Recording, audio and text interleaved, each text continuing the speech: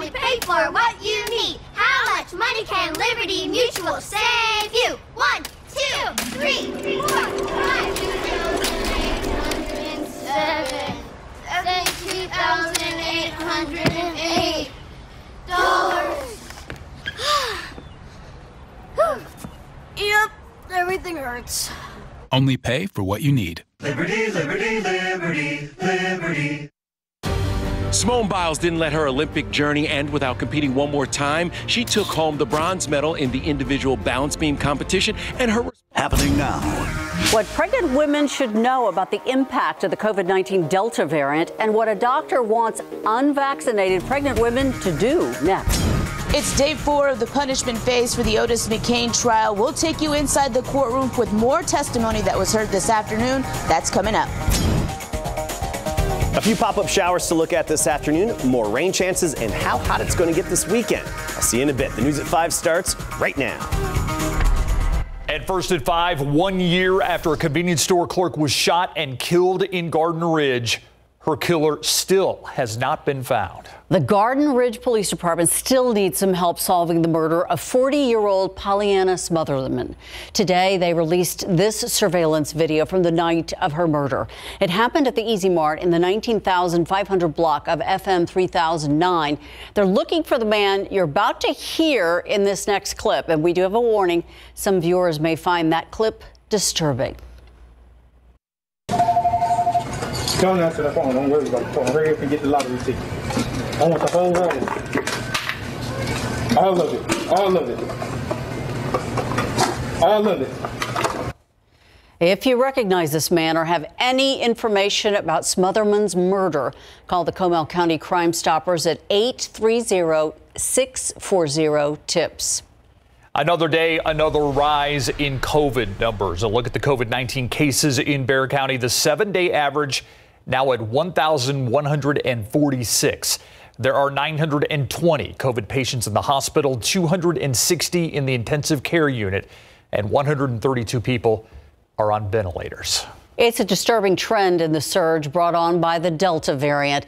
There's been a significant increase in pregnant women as well, with COVID 19 reported by at least two of the city's major hospital systems. Jesse Degollado now with why expectant mothers are being urged to get vaccinated as soon as possible. It started last month. University Hospital reported treating up to three pregnant women at a time with COVID 19, especially in the past week as the Delta variant takes hold in Bexar County. Whereas back in May and June, we maybe had one a month. Uh, so we've seen a huge rise in the number of uh, pregnant cases we're seeing. Most of them, says Dr. Ramsey, were unvaccinated. Same with Baptist Health System. The expectant moms treated there have needed supplemental oxygen, intubation in ICU. Some even had to deliver their babies prematurely, unlike University Hospital. Not yet, but we have uh, some pregnant women that are, are very sick right now, and we're watching them very closely. Along with monitoring their baby's heart rate, he says it's a vital sign that shows if the mom's condition is deteriorating, since pregnancy increases the risk of respiratory failure. And it is the, the large belly pushing up the lungs, making your lung volume smaller. Uh, there's a little bit of an immunosuppressive state in pregnancy. Chances of their babies being born with COVID, he says, are low. Yet if the mother was vaccinated, uh, those antibodies that mommy, mom makes from the vaccine cross the placenta and give the baby some protection for the first few months after birth. Jesse Degollado, KSAT 12 News. With kids heading back into the classroom soon, the thought of in person learning amid a summer surge in cases might be a bit worrisome for parents and teachers.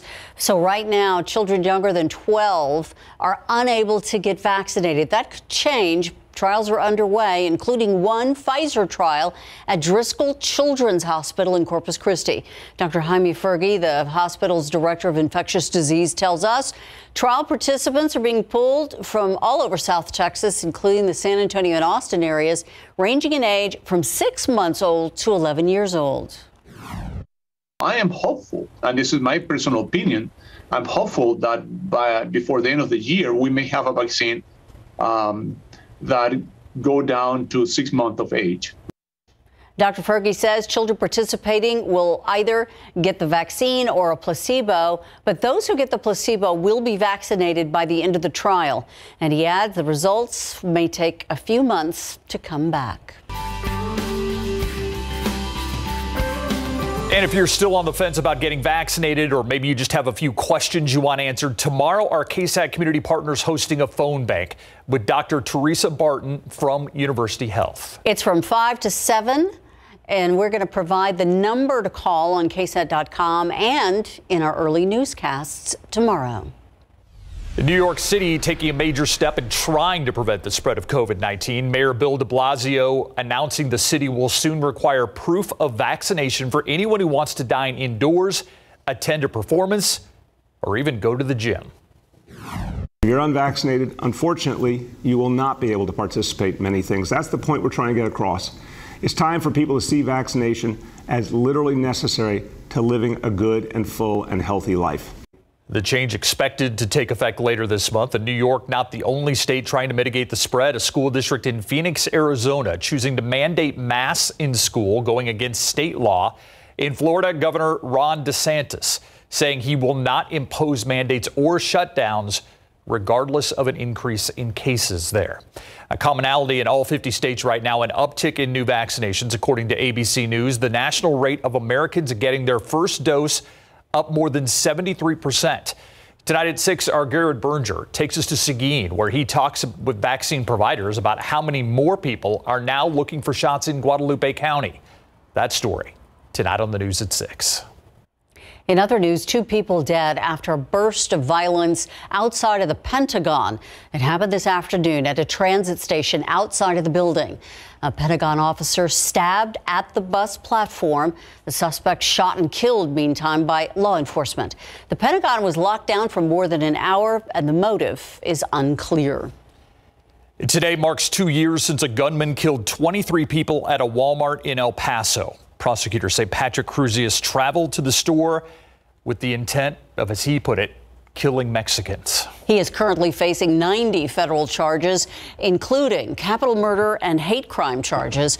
A hearing is rescheduled on this trial. It was set to take place today, but it was postponed until November.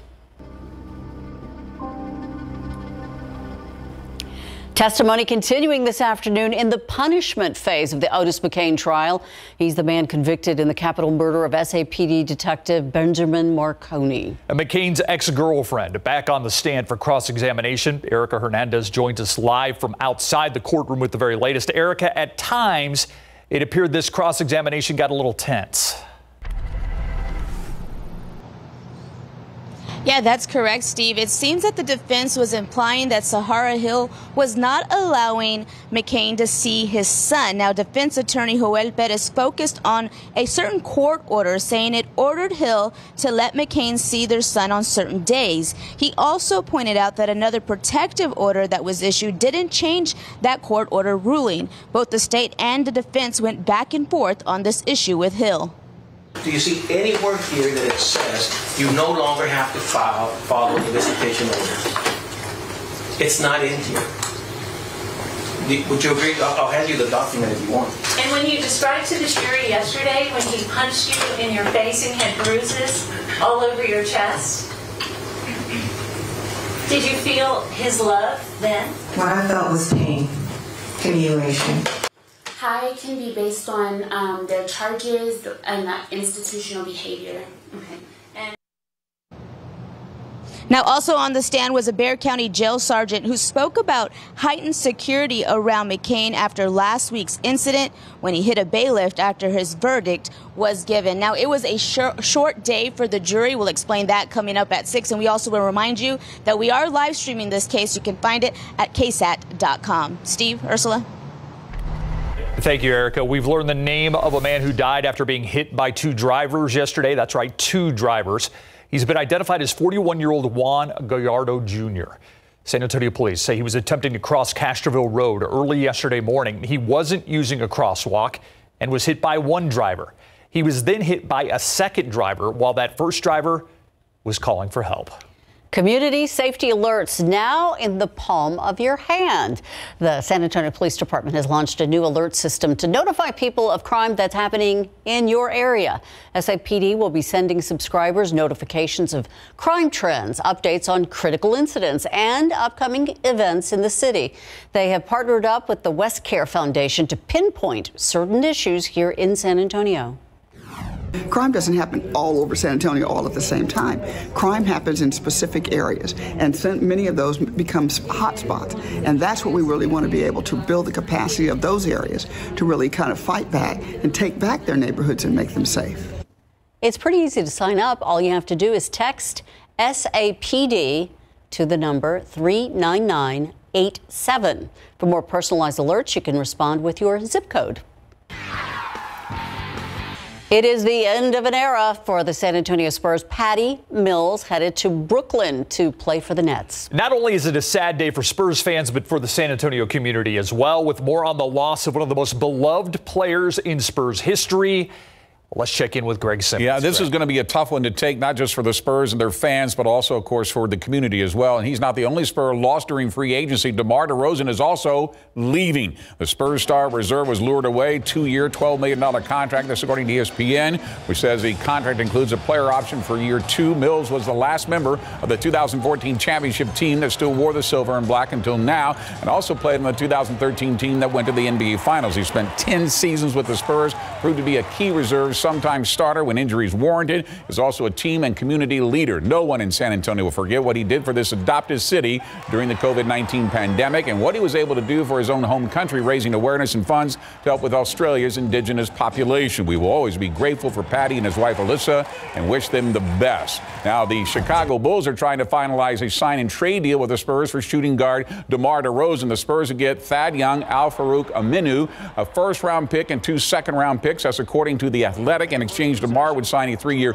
$85 million deal, according to ESPN. DeRozan has played in the silver and black since the forced Kawhi Leonard trade to Toronto during the 2018 offseason. While the Spurs are letting Patty and now DeMar depart, they did sign two new free agents. Got them for you coming up in sports.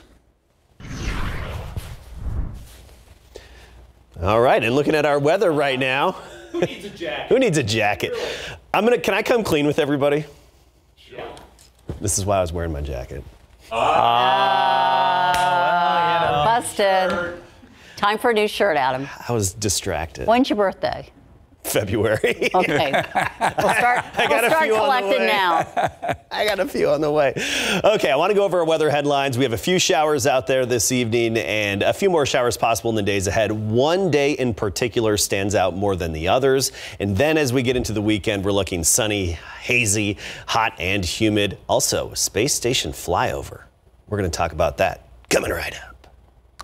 Thank you very much, Adam. We had some emergency sign work south of downtown on 35 earlier this evening, but that is clear. But we do have a new situation here. This is 35 at Pine Hackberry to be exact. So uh, let's take a look at that here. You see emergency crews at I-37 southbound ramp there blocked because of this crash here. Just to show you that on the map here, close to downtown. Also have a crash on the west side, Loop 410 southbound at Valley High, causing some delays. We'll be here to watch it, guys.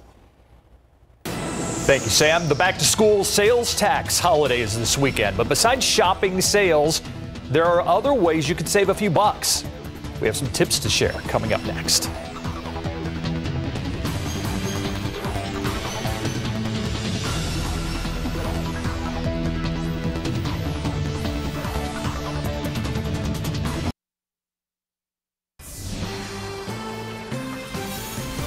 Before the kids head back to class, parents head back to stores, stocking up on markers and folders and maybe a backpack or two. And this year, cha-ching, the retail industry projecting record spending. 12 on your side's Marilyn Moritz says you'll likely see higher prices this year, so it pays to do some homework. So long summer, hello binders, backpacks, and all those glue sticks. Brian Garcia's strategy for back to school shopping just get it done. Honestly, we just buy it all at once because there's no guarantee of a sale. Do the math, this stuff adds up. Families with K through 12th grade kids will spend an average $849 this year. That's $59 more than last year and a record. For starters, most everything is costing more. There's been microchip shortage, which is affecting tech products, especially laptops and tablets. There's also been some pandemic related inflation just on everything overall. Consumer Reports deal hunter Samantha Gordon says there are some sales, but discounts just aren't as big this year. So it's time for a refresher course in penny pinching 101. First thing experts say make a list, make a budget.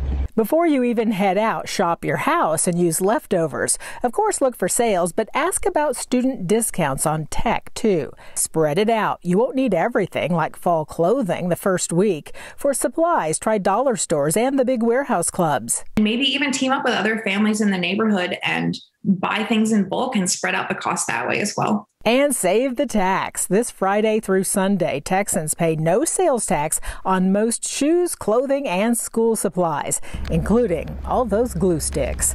Marilyn Moritz, KSAT 12 News. Good advice. We've all been there. Sky 12 over Woodlawn Lake. And, you know, rainy July, rainy August. Look at all that green grass. Green park. That's Yeah. right. Looks good. Been uh, we've been very fortunate in the rain department. It's it's been good for us, and we still have a few showers out there to talk about today. Not a whole lot of activity, and then we do see our rain chances change a little bit. For one day this week, we're going to spike them up a little bit. So spotty showers becoming a little more numerous in nature. By Thursday, sunny and seasonable weekend. We have that space station flyover. That is tonight. So set your alarm for this evening. Get the kids outside. We'll have some clouds in some locations, but generally speaking, some decent viewing. It's going to be a quick one. 9:42 p.m. is when it starts, and it only lasts four minutes. At 9:42, look to the northwest and it's going to disappear to the east. So it's going to veer from the northwest over toward the east. That's your space station flyover. Take a look at the visible satellite imagery, and we definitely will have some areas of lingering clouds, especially south of San Antonio, but even locally, some passing clouds can't be ruled out. It's those thunderstorms down to the south and the leftover blow off clouds, the upper level clouds that could really inhibit and impede some of the uh, space station viewing for some folks later on this evening.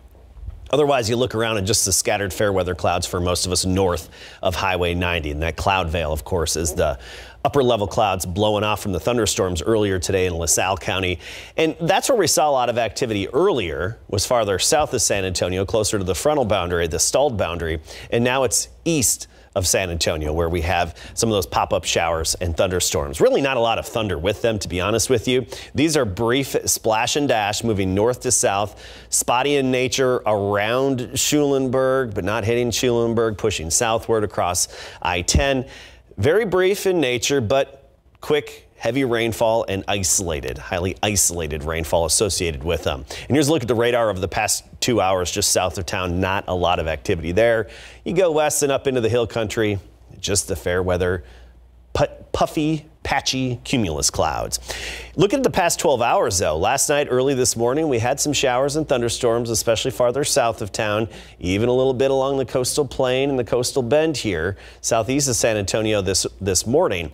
And that's right along the stalled frontal boundary. It's no coincidence that's where the showers and thunderstorms have been firing. But despite that, we anticipate a shift in our upper level weather pattern. As we get into Thursday, we'll have a little disturbance come in from Mexico and another one drop in from the plains. In turn, we're going to boost our chances a little bit. For Thursday, we'll get into the scattered category, so up to 40%. 30% tomorrow, 40% into Thursday, and then they fall off and are nothing as we get into the weekend. 75 this morning.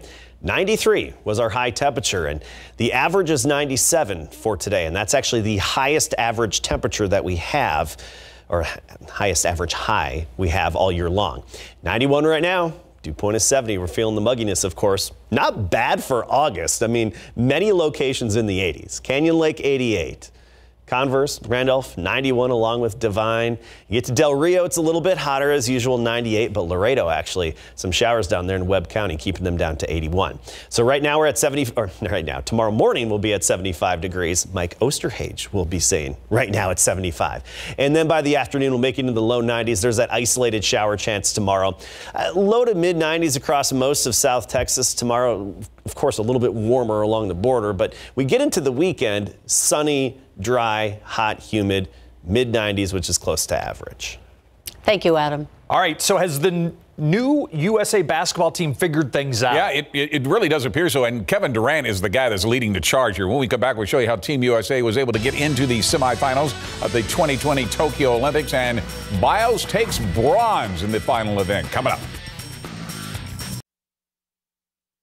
Team USA men's basketball team is advanced to the Olympic semifinals after their come from behind victory over Spain in the quarterfinals today. They were fueled by the play of Kevin Durant, who brought Team USA back from a 10 point deficit after Ricky Rubio was able to hang 38 points on the Americans, the most points ever scored on an American team in Olympic history. It was Kevin Durant at the rescue as he scored 13 of his 29 points in the game-changing third quarter. He has already passed Carmelo Anthony as the all-time leading scorer in Olympic history and now is about to join him in the exclusive three gold medal club if he can lead Team USA to that ultimate goal. Durant was part of a 14-4 run to open the second half, led Team USA to the 95-81 victory, and now takes on Patty Mills in Australia in the semifinals on Thursday. KD was asked if it feels like they are really just two wins away from a gold medal.